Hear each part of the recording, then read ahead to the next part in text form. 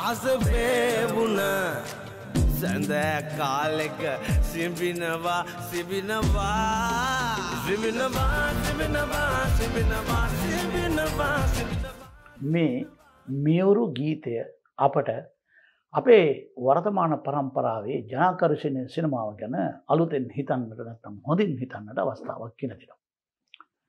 මේ සිනමාකරු ප්‍රියන්ත කොළඹගේ. ප්‍රියන්ත කොළඹගේ මුලින් ඡායාරූප ශිල්පියෙක්, මාධ්‍යවේදියෙක්, මාධ්‍ය ඡායාරූප ශිල්පියෙක්.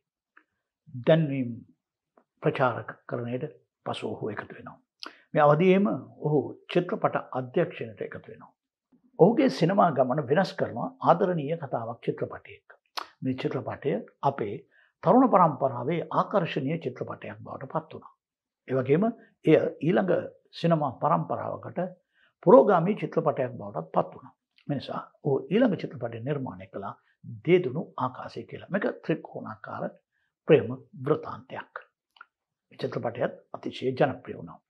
මේ චිත්‍රපටයේ මියවරු ගීත පෙළකොත් තිබුණ ඒවගේම යාම සංවේදී කතාපොතකුත් මේ චිත්‍රපටයට ඇතුළත් වුණ පෙම්බතෙක් සහ ඔහුගේ මියගේ පෙම්බතිය සහ ජීවත්වන පෙම්බතිය අතර.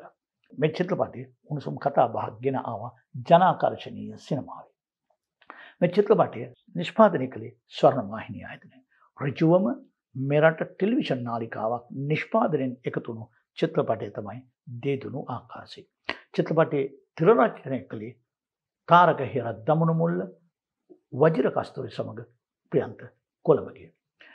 කැමරා කරණය චිත්‍රපටයෙන් දායකුණා රංගනයිස් පණ්ඩාර සංස්කරණයෙන් ඉන්දික තුෂාර සුරවීර සමඟ මේග කාවින්ද කොළඹගේ. චිත්‍රපටේ සංවිධාධ්‍යක්ෂණය කළේ උදාර සමරවීර.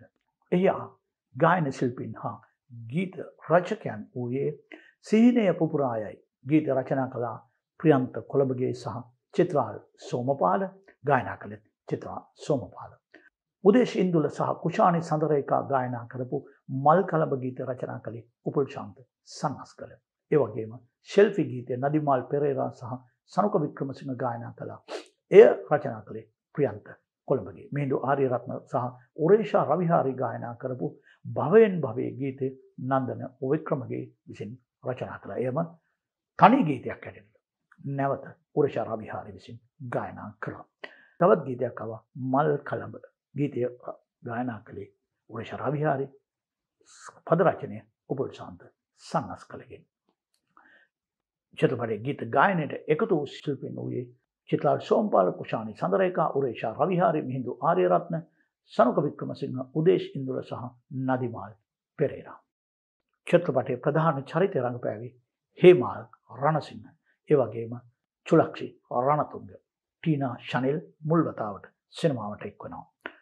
ජයලත් මනෝරත්න ශ්‍රයාණය අමරසේන දයත් එන්නකෝන් බිමල් ජයකොඩි මීනා කුමාරි ප්‍රියංකර රත්නායක මයික් ප්‍රනාාන්දු කුමාර ජයකය අන්ත සහේලි සලිත්මා සතරසිංහ දසුන් නිශාන් වජර ජයවර්ධන ලහිරෝ පමුදිත ධනුෂ්ක විතානගේ අචල වල්පොල කෞෂ පතරන සචනි දිල් ප්‍රභා චතුපබා දිල්හාර ක්‍රෂාන් පෙරේරා සංජය විතානාරච්චි සමෙන්ද සංජීව දිනදු ඒකනායක උමේෂ් චතුරංග ක්‍රෂාන් රණසන් කේශාලි නිමේෂ තිලක්ෂ නිර්මාණය සමාරා චේතනිකා පබුදු කවීෂ සහුෂි විහන්සා තඹවිට ඇතුළු නළු නිලියන් රාශයක් මේ චිත්‍රපටයට දායක වුණා.